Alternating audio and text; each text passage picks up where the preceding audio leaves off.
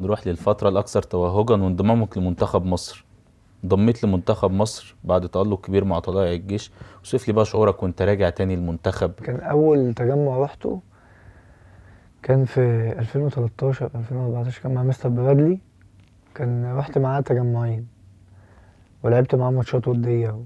كان فترة كويسة. بعد كده بقى كل الفترة اللي أنا بحكي لك عليها دي بقى كان كلها يعني بعيد مشاكل. وبعيد بعدين رجعت تاني. بعدين رجعت. قعدت من أول سنة في الجيش وأنا دايما ممكن اسمي يرتبط بالمنتخب شوية بس ما حصلش نصيب. اسمي يرتبط بس. لحد فترة كابتن حسام البدري ال- الاتحاد وال- وال- والجهاز الفني للمنتخب طلب جواز السفر بتاعي. فبرضه كان أوقات يجي تجمعات وما بروحش أوقات. فما كنتش بزهق وما كنتش ب... بزعل لأن بقول لسه يعني ممكن تكون ربنا شايل لي خير في وقت تاني. لحد بقى ما جه مستر كيروش كان أول معسكر بعد السوبر على طول. كان ربنا كرمني وكنت عامل أداء كويس في ماتش السوبر و... وعملنا ماتش كويس. فرحت بقى. إحساس طبعا ما يتوصفش إن أنت تحس إن أنت بعد مشاكل كتير و- ومعاناة وماتشات يعني كتير قوي فاتتك وحاجات كتير قوي فاتتك و... وممكن يكون سنة أو سنتين ضاعوا. وترجع تاني تحس إن أنت تعبك ومجهودك. واللي أنت عملته أو اللي أنت بتعمله أو بتحاول تعمله ما ضاعش. دي حاجة كبيرة جدا يعني تفرق مع معايا تفرق معايا نفسيا ومعنويا وكل حاجة. يمكن برضه أنا في معسكر المنتخب يعني كان حظي وحش شوية لأن في الماتش الودي اللي لعبناه كان محمد شريف طلع وكان ال forward اتصاب فلعبت forward. بعد كده كان ال- التلاتة back left كان فتوح اتصاب. ومحمد حمدي لعب اتصاب وخرج وأيمن أشرف لعب back left كان بيلعب third back لعب back left واتصاب وأنا رجعت لعبت back left. من forward ل back left. آه ف ويمكن ساعتها حصل حاجة يعني حتى يمكن في الأوضة بعد الماتش مستر كيروش يعني اعتذر لي قدام اللعيبة بشكل يعني كويس إن هو أنا ما لعبتش في مكاني. بيقول لي يعني أنا أنا بتأسف لك وعارف إن ده مش مكانك وعارف إن أنا ما لعبتكش في مكانك ف إن أنا بعتذر لك وكده. فكانت حاجة كويسة يعني بالنس- بالنسبة لي إن هو مقدر حاجة زي كده. لكن طبعا كان كان بالنسبة لي شعور كبير. احس إن أنت تعبك ومجهودك أنت بتلاقيه.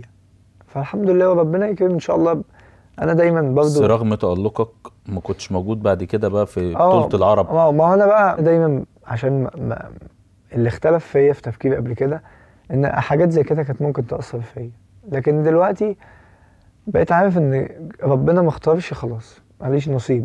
ممكن يكون ربنا شايل لي خير. كنت عارف قبل البطولة إن أنت مش هتبقى موجود لا كنت العرب عارف إني موجود أو كنت عارف إني قريب جدا. كان في تواصل من الجهاز الفني آه معاك؟ آه وك- وكان وكان يمكن أنا قبل البطولة بيوم بالظبط رحت خدت الجرعة الثانية بتاعة اللقاح رحت إجباري كمان يعني رحت بالليل إن أنا لازم أروح. أنا كنت شايف الاهتمام بإن أنا آخد الجرعة إن أنا خلاص مسافر.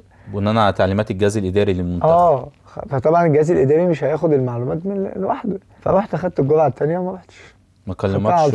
برروا لك سبب ال- الاستبعاد؟ لا لا لا. لا أنا مش محتاج. أصل هو دي دي وجهات نظر وقرارات وهو أنا أحترمها يعني. للناس ما تعرفوش كتير إن جالك عرض من مارسيليا. آه. لا إيه؟ ده أنا جالي عروض كتير وأنا صغير والله في في أوروبا بس ما حصلش نصيب. ليه موضوع عرض مارسيليا ده هو كواليسه يمكن يمكن سبب إن أنا كنت متواجد في نادي آه، الداخلية ممكن ده اللي يكون هو اللي ضيع شوية العروض اللي جات لي.